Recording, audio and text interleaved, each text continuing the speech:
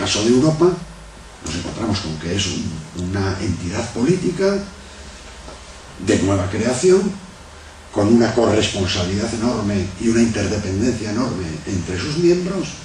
son miembros que comparten los mismos valores y los mismos intereses, y son miembros que se enfrentan a los mismos riesgos, amenazas y desafíos. Influir en el mundo sin tener una estrategia de seguridad común.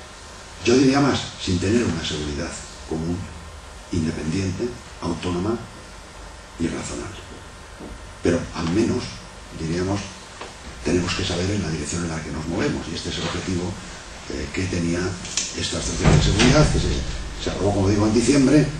en un documento conocido como una Europa segunda en, en un mundo mejor. Una estrategia de seguridad es una estrategia que abarca muchos más aspectos que el de la mera defensa y por supuesto muchos, muchos más aspectos que el de la mera participación militar,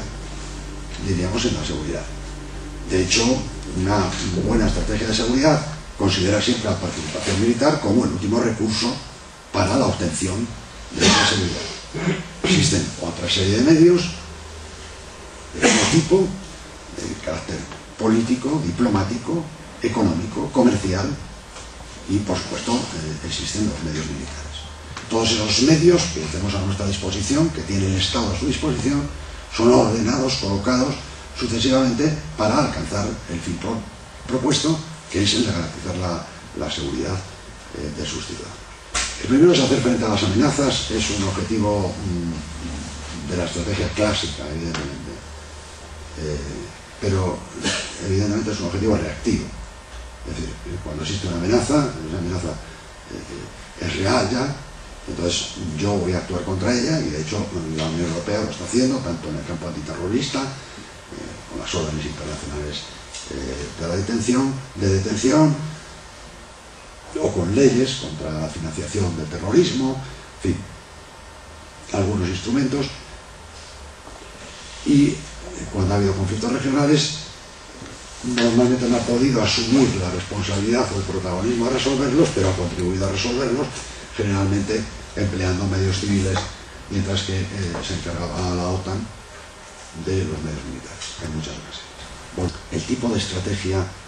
de seguridad eh, de la que se quiere dotar la Unión Europea.